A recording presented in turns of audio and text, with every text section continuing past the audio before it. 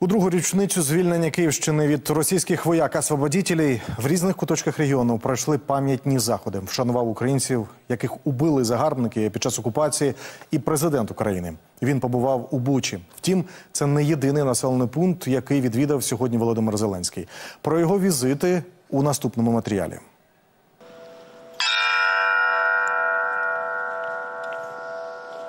Біля церкви святого апостола Андрія Первозваного та всіх святих у Бучі, керівництво України, посли іноземних держав і міжнародних організацій.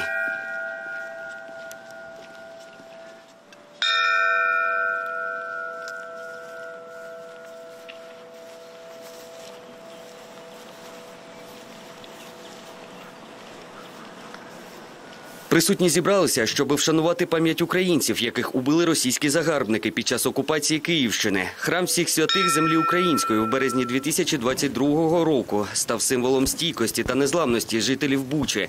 Лише тут, уже після деокупації, були ексгумовані з братської могили 116 тіл. Вічна пам'ять загиблим.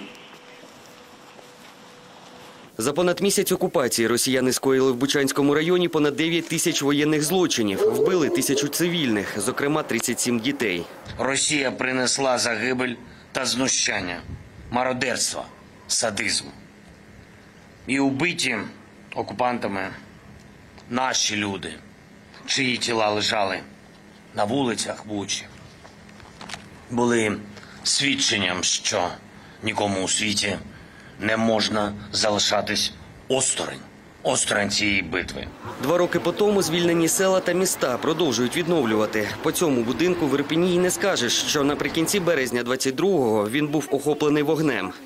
Залишилось близько 10 людей в мешканців в будинку, і вони пережили всю окупацію. За їхніми словами, в дах будинку е, 23 е, березня прилетіли вогневі снаряди, які запалили наш будинок, і він не можна було нічим потушити, тому він згорів.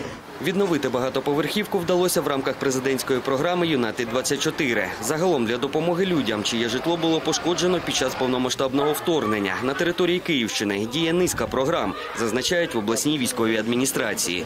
Загалом по е, області у нас 29 тисяч об'єктів зруйновано та пошкоджено. А на сьогоднішній день ми відновили вже 17 тисяч об'єктів.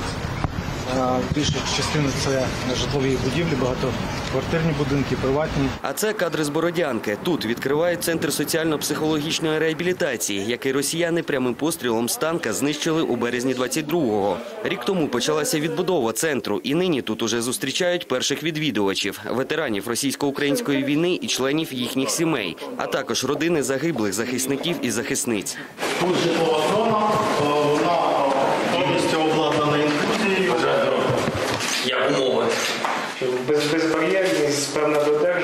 хотілося б ще побачити такі центри десь подальшому. Це правильний початок і правильний сигнал всім областям, до речі. Мені здається, знаходити можливості, шукати гроші. Ось як хлопці. І тут і державні гроші, і міністерські гроші, і, і також і громада допомагає місцева влада. Ми зустрічалися із прем'єр-міністром, і з міністром охорони здоров'я з Ляшко.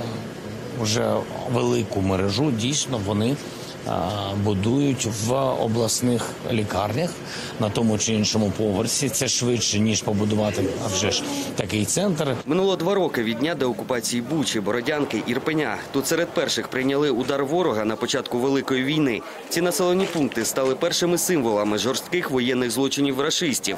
Зараз Україна продовжує протистояти ворогу. І пам'ятає тих, хто став жертвами російського терору та віддав життя за свободу рідної землі. Анатолій Журавльов, Ніна Коломієць, Максим Чеблін. Подробиці телеканал Інтермарафон Єдині новини.